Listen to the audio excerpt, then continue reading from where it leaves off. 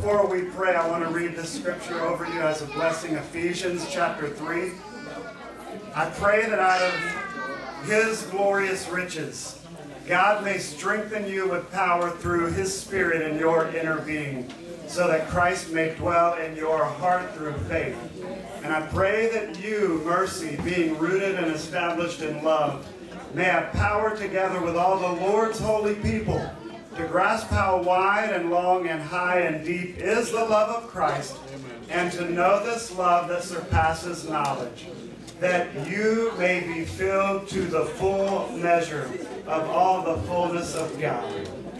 So to him who's able to do immeasurably more than all we ask or imagine, according to his power that is at work within us and at work within you.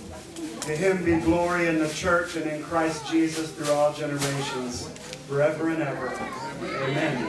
Lord, Lord God, we pray your favor on mercy, your blessing and your presence in her. We're thankful for the years that she has lived and the way that you have been with her to this point in time. And we pray that you would continue on past this point in time, that she might increase in wisdom and standing with all people, those that she ministers to herself, those that she associates with, those that she lives with.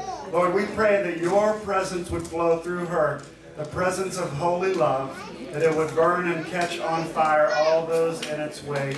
We pray that you would bless this time that we have together this evening, that you would bring restoration, renewal, and refreshment, even revival. And we pray that you would bless this cake, that it would nourish our souls as your Spirit does so much more. Come, Holy Spirit, we pray in Jesus' name. Amen. Thank you, Pastor Mike and our First Lady. Uh-huh. All right, so happy birthday. That's